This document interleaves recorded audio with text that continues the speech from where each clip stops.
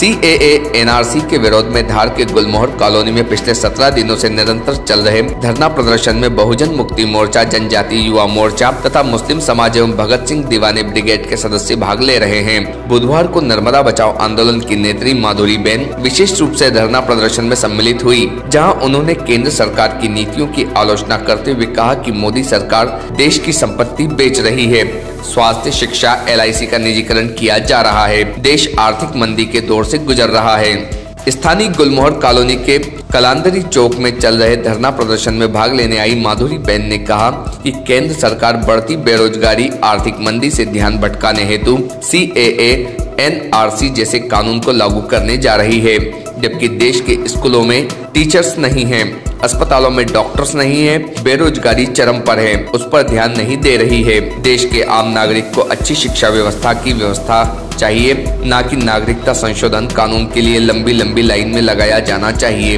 नोटबंदी से शुरू हुई आर्थिक तंगी आज तक बनी हुई है जिसे बेरोजगारी भी पिछले पाँच वर्षों में डबल हो गई है। भारतीय न्यूज़ के लिए धार से साबिर खान की रिपोर्ट।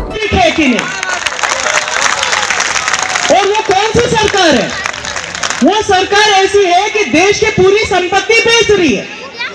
रेलवे को बेच दिया पिछले महीने। हम तो यहाँ बैठे थे वहाँ रेलवे का जो निजीकरण हो रहा है अस्पतालों स्वास्थ्य सेवाओं का निजीकरण हो रहा है शिक्षा का निजीकरण हो रहा है एल का निजीकरण हो गया इस, इस बजट से। तो देश के जितने भी जो पूंजी है वो कंपनियों के हाथ बेच रहे हो उनको जो है ना निजीकरण कर रहे हो तो हमारा सवाल ये नहीं हम नहीं साबित करेंगे। भाई साहब आप साबित कीजिए कि आप देश के नागरिक हैं कि नहीं। जो इस देश को उठा उठा के बेच रहे हो सरकार को क्या करना चाहिए? हम आ, आप ये आदिवासी ज़िले में हैं मध्य प्रदेश है गरीब राज्य हम अच्छे से जानते हैं। सरकार को ये काम करना चाहिए कि हर बच्चे को अच्छी शिक्षा मिले। सरकार को ये काम करना चाहिए कि अस्पताल में फ्री में सबका इलाज हो। कर्ज में ऐसे डूब गया कि वो वापस उठ नहीं सकता है। उसको वाजिब भाव मिल रहा पिछले पाँच साल से बेरोजगारी डबल हुआ है इस देश में डबल डबल हुआ बेरोजगारी।